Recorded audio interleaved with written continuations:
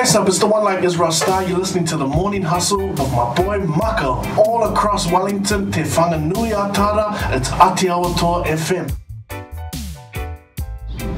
Kia ora, your boy Maaka here, Aotearoa in the whare, here with the one, the only, you already know, it's Israel Starr. What up, what up? We're here at uh, Upper Hutt College, the college that actually we both went to. Yeah. eh? And we're excited to be here, you know, find all those uh, those sneaky spots that we used to go to, maybe. Oh, you, well, your sneakers. I was a good boy at college, so not me. Oh. but that's us, man. Let's go for a walk and check out our old college. It's Upper Hutt College. Guys, we're feeling so right. Yeah, yeah. Pariro, if I remember correctly, tēnua o tēnei marae, or Pariro, um, actually moved from over there way in. So um, I want to know, what's one of your fondest memories of being at Upper Hutt College? Lunchtime, I love lunchtime.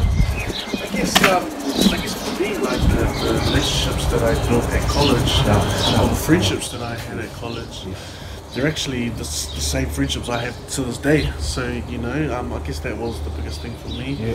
Yeah. Um, you know, I met my first, you know, my baby baby's mother here Yes, as oh, well. So we yes. fell in love at this college. Um, this is where I started rugby, started rapping here as well.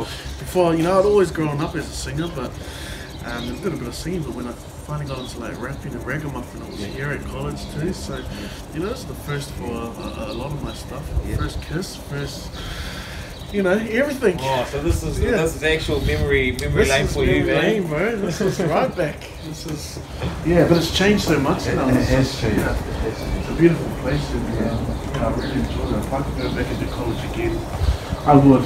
And, and, and listen this time. I would listen. Yeah, yeah. a lot more open. It is a lot more open, eh? Colour here, though, eh? It's a bit All industrial. grey and industrial and what's that? Prison.